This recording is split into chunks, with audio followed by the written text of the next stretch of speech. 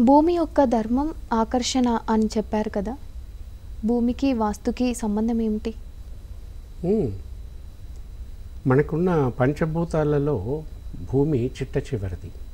ఎందుకంటే భూమికి మిగతా నాలుగు నాలుగు భూతాలకి ఉన్న ధర్మాలే కాకుండా ప్రత్యేకమైన ధర్మం ఉంది.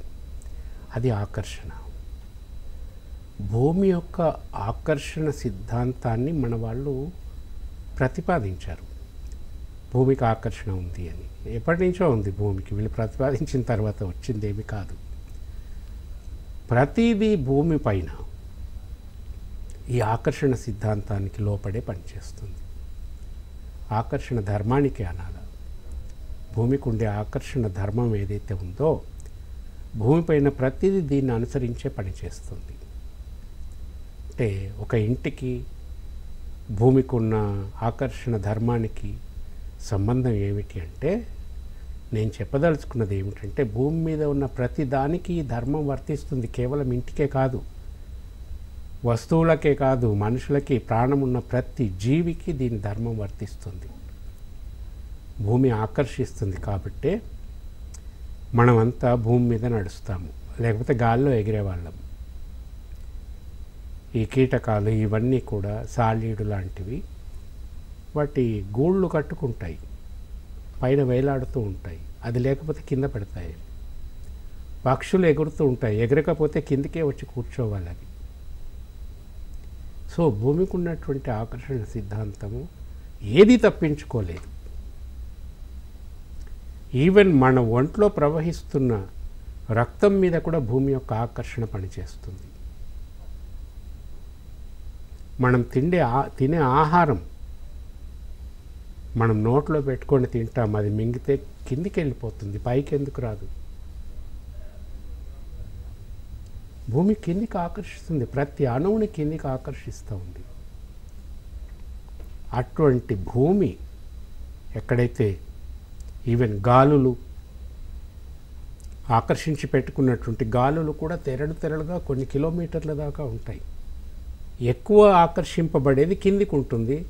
కొంచెం దానికంటే తక్కువ ఆకర్షించబడేది పైకి ఉంటుంది హైడ్రోజన్ లాంటివి. హైడ్రోజన్ తేలిక అంటామంటే భూమి దాన్ని తక్కువ ఆకర్షిస్తుంది. ఎక్కువ ఆకర్షించబడేది ఆక్సిజన్ కిందికి ఉంటే దానిపైన హైడ్రోజన్ ఉదజని ఇవి ఉంటాయి. నైట్రోజన్ లాంటివి భారీ ఎక్కువ ఉంటాయి కాబట్టి కిందికి ఉంటాయి. సో ఎవ్రీథింగ్ ఈజ్ దట్ మనం గాలి పీలుస్తున్నామంటే ఇందులో ఆక్సిజన్ ఉంది ఆక్సిజన్ బరువు కాబట్టి మనకి లభ్యమవుతుంది మనం గాలి పీల్చుకొని నిలబడగలుగుతున్నాం. ఇక్కడ ఆక్సిజన్ లేదనుకోండి అసలు మనం ఉనికి లేదు అసలు. ఆక్సిజన్ లేకపోతే మనం పీల్చే గాలి లేకపోతే మనమే లేము. సో భూమి ఆకర్షణ చాలా గొప్పది. చెప్పటానికి వీల్లేదు. ప్రతి అణువు మీద భూమి ఆకర్షణ సిద్ధాంతం పనిచేస్తుంది. అలాగే ఎన్నింటినో తన వైపు ఆకర్షించి పెట్టుకునేటటువంటి భూమి. మనం ఒక మూడు వందల గజాలు నాలుగు వందల గజాలు వెయ్యి గజాలు ఎంతో కొంత స్థలంలో ఇల్లు కట్టుకొని ఉండదలుచుకున్నాము. అక్కడ కూడా భూమి ఆకర్షణ సిద్ధాంతం పనిచేస్తుంది. సో ఆ భూమి లోపల ఉండకూడనివేమన్నా ఉంటే ఆ క్షేత్రంలో ఆ నెగటివ్ వైబ్రేషన్స్ ఉంటాయి ఆకర్షణలో. మనము ఒక మూడు వందల గజాల స్థలం తీసుకొని అక్కడ ఇల్లు కట్టదలుచుకున్నాము. పునాదుల కోసం తవ్వుతూ ఉంటే కొన్ని ఎముకలు ఇట్లాంటివి వచ్చాయనుకోండి. అక్కడ ఇదివరకు ఎవరో ఏదో జంతువో ఏదో పోతే పాతి పెట్టారనుకోండి తవ్వేటప్పుడు కనపడింది. ఆ క్షేత్రము దాని యొక్క వికర్షణ ఆకర్షణ వికర్షణ రెండు కలిసి ఉంటాయి. ఇటువంటి దోషాలు ఉన్నప్పుడు అవి నిరంతరం పనిచేస్తూ ఉంటాయి. ఆ ఇంట్లో నివాసం ఉన్నప్పుడు మనకు అంత మంచి ఫలితాలు రావు.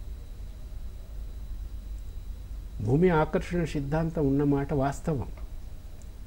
ఆ ఆకర్షణ వల్ల మనకు మంచి కలుగుతుందా చెడు కలుగుతుందా అది ఆలోచించుకోవాలి. ప్యూర్ ఆకర్షణ కొంచెం పొల్యూట్ అయినప్పుడు వచ్చేటటువంటి చెడు ప్రభావం. సో ఆకర్షణని మనం ఉపయోగించుకోవాలి. ఆకర్షణలో మిళితమై వచ్చేటటువంటి పొల్యూట్ అయినటువంటి వికర్షణని మనం తప్పించుకోవాలి. మరి వాటికి పరిహారాలు ఉంటాయా బాపు? ఉంటాయి. వాటికి ఏ విధంగా వాటిని తప్పించుకోవాలి? ఇవన్నీ ఉంటాయి. ఒకవేళ భూమి మనం క్షేత్రం ఏ క్షేత్రంలోనైతే గృహ నిర్మాణం తలపెట్టామో లేదా కట్టుకొని ఉంటున్నామో అక్కడ ఉండేటటువంటి భూమి లోపల కూడా సాధారణమైన పరిస్థితులు ఉంటే ఉండకూడనివి లేకుండా మామూలుగా ఉంటే అక్కడ మనం చక్కటి ఫలితాలు పొందవచ్చు. ఆ ఆకర్షణ వల్ల కూడా ఎన్నో ఉపయోగాలు ఉంటాయి మనకి. మన దైనందిక జీవితంలో మన ఆరోగ్యము ఇవన్నీ కూడా బాగుంటాయి. సో ఇది ఆకర్షణ. భూమి ఆకర్షణ వ్యక్తులకి ఆకర్షణ కలగజేస్తుంది. ఒక అయస్కాంతాన్ని తీసుకెళ్ళి ఒక ఇనుప ముక్క మీద రుద్దితే అది అయస్కాంతం అయిపోతుంది.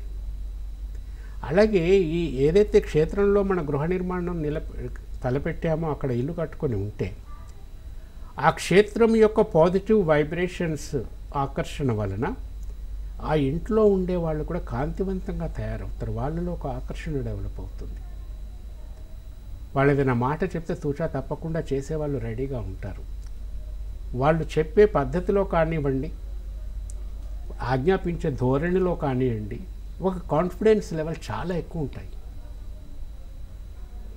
ఇవన్నీ కూడా చాలా చాలా గొప్ప విషయాలు. ఇందులో ఒక సందేహం ఉంది బాపు నాకు. ఇప్పుడు స్థలంలో ఎముకలు ఉంటే వాటికి ఎలాంటి పరిహారాలు ఉంటాయి? స్థలము లోపల ఎముకలు ఉంటే దానిని శల్యవాస్తు అంటారు. శల్యము అంటే కృషించున్నది ఈ ఎముకలు ఇవన్నీ ఉంటే వీటిని శల్యవాస్తు అంటారు. ఎముకలు. గవ్వలు గోర్లు పుట్టలు చెదలు బొరియలు కృషించే లోహములు ఇవన్నీ కూడా శల్యవాస్తు కిందకు వస్తాయి. ఈ శల్యవాస్తు దోషాల నుంచి ఏ విధంగా తప్పించుకోవచ్చు అన్న విషయాన్ని మనం ఇంకొక ఎపిసోడ్లో చెప్పుకుందాం. చాలా చక్కగా వివరించారు బాపు. ధన్యవాదాలు.